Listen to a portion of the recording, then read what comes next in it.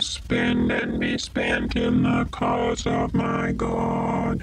My whole life freely resign. I will take up my cross and travel for loss and be faithful while here in time.